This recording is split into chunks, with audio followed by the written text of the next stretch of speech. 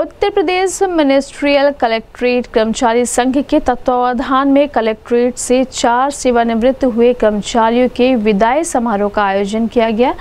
इस दौरान मुख्य अतिथि के रूप में पहुँचे जिलाधिकारी विजय किरण आनंद ने चारों कर्मचारियों को अंग, वस्त्र व माल्यार्पण कर विदाई दिया।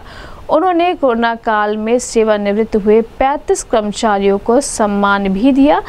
आपको बता दें कि विदाई होने वालों में प्रमुख रूप से बजरंग सहाय प्रशासनिक अधिकारी, रवि श्रीवास्तव, वरिष्ठ सहायक, अश्वनी पांडे, वरिष्ठ सहायक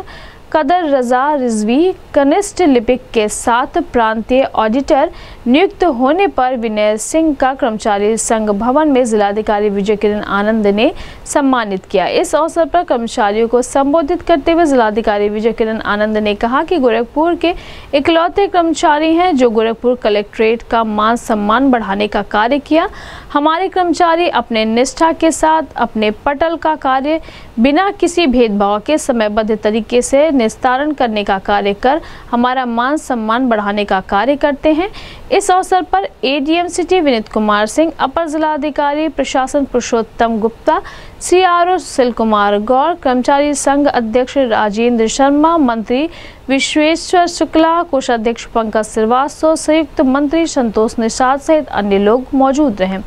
इस संबंध में गोरखपुर न्यूज़ से बात करते हुए जिलाधिकारी विजय किरण आनंद ने कहा सीख लेने में किसी भी प्रकार से अपने को हल्का क्योंकि वो हमारे बड़े हैं, हमारे आदरणीय हैं, हमारे लिए अनुकरणीय हैं और उनके अनुभव हमारे लिए सक्रिय रहें, स्वस्थ रहें और तंदुरुस्त रहें। जय हिंद, जय सिंह ज़्यादा ही काम कर रहे थे, लेकिन मैं आपको विश्वास दिला रहा हूँ कि हमारे टीम के जो जिलाधिकारी महोदय हैं, वो तेज धावक हैं और उनके नेतृत्व चार हमारे साथीगढ़ सबसे पहले तो मैं आप सभी चारों सदस्यों को बधाई देता हूँ कि आप सभी लोगों ने अपना सेवा कार्य पूरा करके पुरस्कार प्राप्त किया और अवसर जीवन में। और इसके अतिरिक्त एक अच्छी पहल जो आप लोगों ने की है जैसे कलेक्ट्रेट कर्मचारी अध्यक्ष महामंत्री जो इस बात की उठाई मतलब कि उन्होंने पुराने कर्मचारी जो हमारे रिटायर हो हैं उनको भी यहाँ आमंत्रित किया क्योंकि अक्सर ऐसा होता है कि जो एक बार रिटायर हो जाता है तो उसे लोग भूल जाते हैं लेकिन आप लोगों की ये अच्छी पहल है कि आप उसको भूले नहीं हैं, उनको भी आप याद रखें उनको भी बुलाया आपने अब जो हमारे चार साथी रिटायर हुए हैं, उनका विदाई समारोह थोड़ा विलम्ब से हो पाया, क्योंकि बीच में कई बताए कि साथी चुनाव की व्यवस्थाओं के कारण। तो आज छः जून को हम लोग रहे हैं। अक्सर ऐसा होता है आज इस कार्यक्रम में उपस्थित अपर जिलाधिकारी महोदय। आज के कार्यक्रम के विशेष अतिथि हमारे सेवानिवृत्त हुए सभी चारों साथीगण, कलेक्ट्रेट, कर्मचारी संघ के सभी अध्यक्ष एवं पदाधिकारीगण, यहाँ पे उपस्थित सभी परिवार के हमारे साथीगण। आज सर्वप्रथम मैं हमारे चार साथी जो सेवानिवृत्त हो रहे हैं, उनको की ओर से जनपद को उनकी सेवा के लिए, उनकी श्रद्धा के लिए कटिबद्धता के लिए,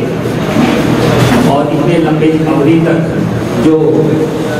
सबका साथ निभाते हुए कलेक्ट्रेट के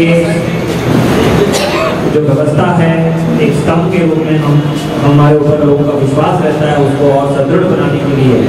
अभिनंदन एवं आभार प्रकट करना चाहूँगा और शुभकामनाएँ देना चाहूँगा। हमारे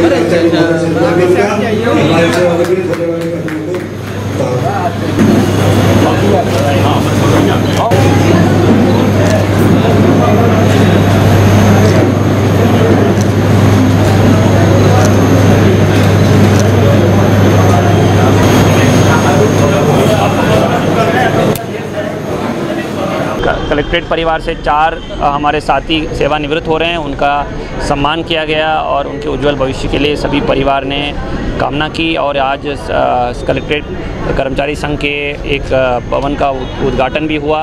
और सभी लोगों ने जैसे इस तरह के आयोजन लगातार चलते आ रहे हैं। कोशिश यही है कि सभी एक परिवार के रूप में अच्छी सेवाएँ गोरखपुर के निवासियों, सम्मानित नागरिकों को दें। जो भी हमारे विभिन्न कार्य हैं, उन सबको समयबद्ध रूप से पारदर्शितापूर्वक चलाने के लिए एक प्रक्रिया है। पूरे कलेक्ट्रेट टीम ने संकल्पित होते हुए ठान लिया है कि हम एक उत्तर प्रदेश के बेहतरीन, सबसे बेहतरीन कलेक्ट्रेट के रूप में उभर के आने के लिए पूरा प्रयास करें।